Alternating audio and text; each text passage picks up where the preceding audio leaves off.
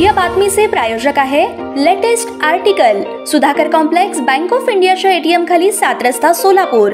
सोलापूर पुणे महामार्गावरील बाळे परिसरातील मडकी वस्तीजवळ भरधाव निघालेल्या मालट्रकनं ऊस वाहतूक करणाऱ्या ट्रॅक्टरला जोराची धडक दिली आहे या धडकेमुळे महामार्गावर ऊस पडल्यानं सोलापूर पुणे महामार्गावरील वाहतूक दोन तास ठप्प झाली होती.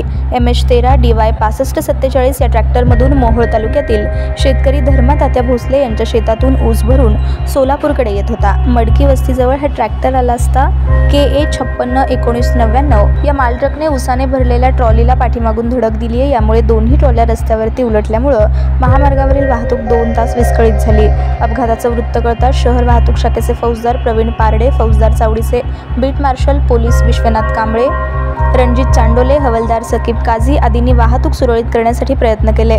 तब्बल दीड तासानंतर वाहतूक सुरळीत झाली.